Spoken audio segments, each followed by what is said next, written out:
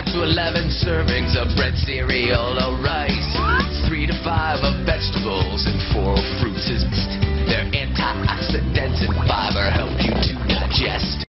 If you think about how many pathogens there would be around us, how many bacteria that could be harmful, or protozoa or viruses, it'd be quite a few. So this might be a bacteria, this might be a protozoa, this might be a virus, this might be a fungi, and you'd find them all over the place, so all around us.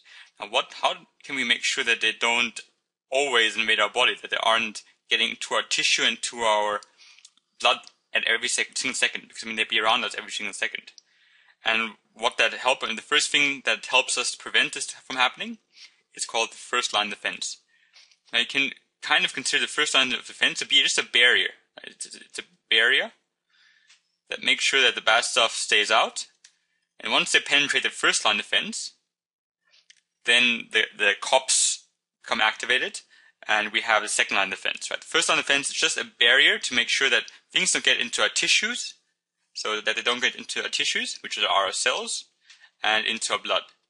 So they're meant to stay out of our tissues and blood, and once they get in, once they actually do manage, then we have the second and third line of defense being activated. Now the first line of defense is actually non-specific. What that means is it doesn't doesn't target a specific type.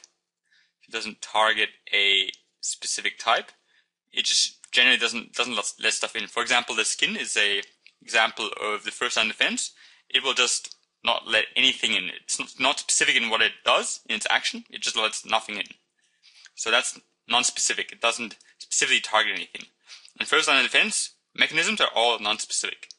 The reason why I'm mentioning this because dot point itself says identify defense barriers to prevent entry of pathogens in humans, including the skin, the mucous membrane, the cilia, the chemical barriers, and other body secretions. So we're going to quickly talk about those five things and how they help us prevent pathogens from getting into our body, especially into our tissue and into our blood.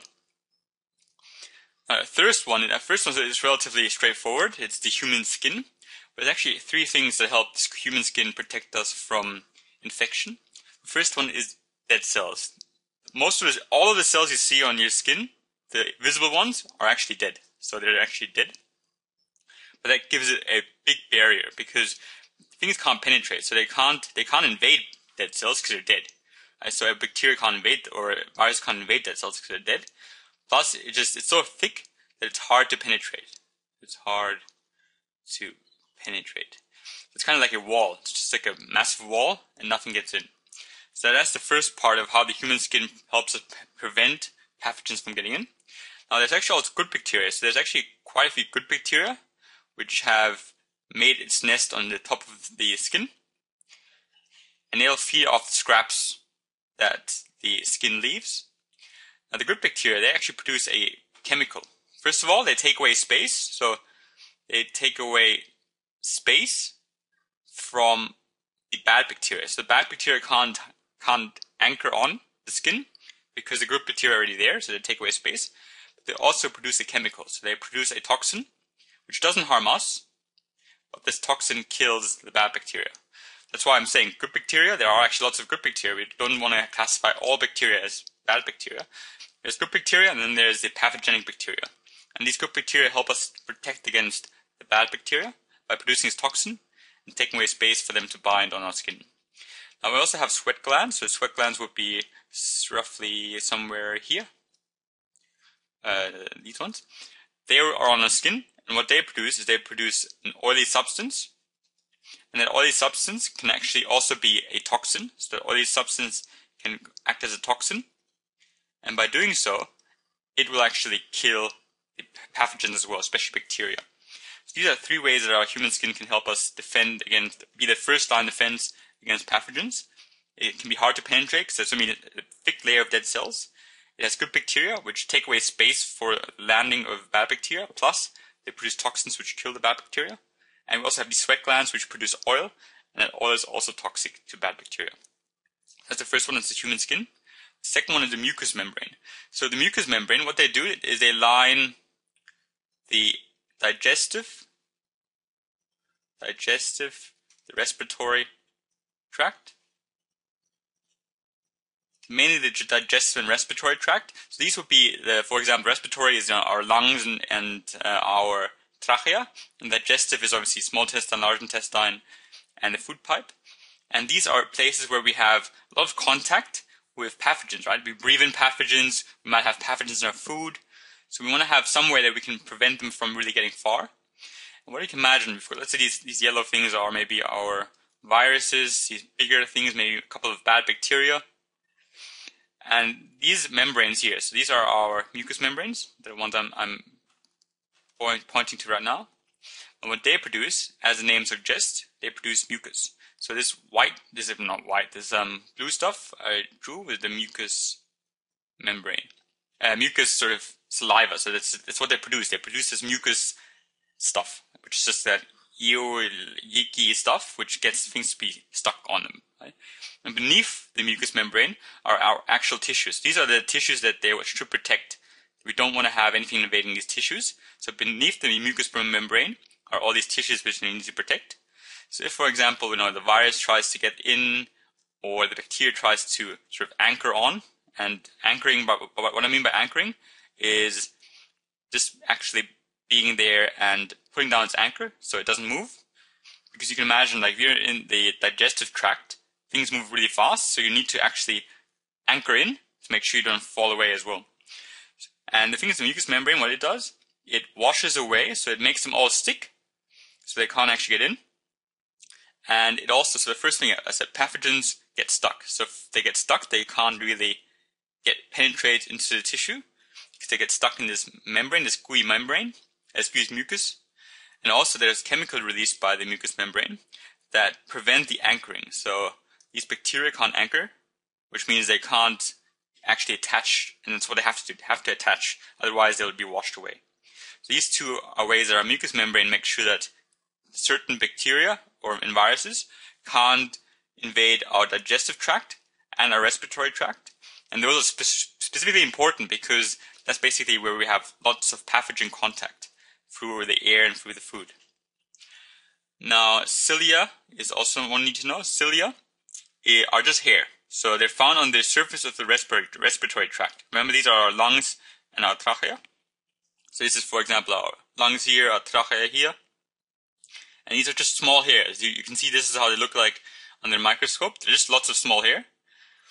And this is our membrane. So these small things here are our mucous membrane. So M for mucous membrane. And these bigger things are our cilia. So C for cilia. And what you can imagine is we have these mucous membranes producing the mucus, which means stuff gets stuck. And then we have, inside obviously we have all these stuck bacteria and everything else swimming in it. And what these hair do, the hair move the debris. So they move all the dead bacteria and everything else. And also important, they move it, but they only move it upwards. So you, if, for example, let's say, you know, you've breathed in stuff and it goes down to your, towards your lungs, you don't want to go get those bacteria down towards your lungs. You want to get them back up to outside the body. So these hair will constantly push all that stuff up. So you're going to have all the bacteria moving back up from where they came from. And once it gets it all the way up, once it gets to roughly the upper throat part, that's when you might start coughing or when you might start um, sneezing because you've gotten all the bacteria so far up that you can remove them from your body. So what cilia do is cilia help you to once you know all the things have gotten stuck, all the pathogens have gotten stuck, they help you move them upwards and out of your body. So that's what cilia do, and they're found in the respiratory tract, so at your lungs and at your trachea.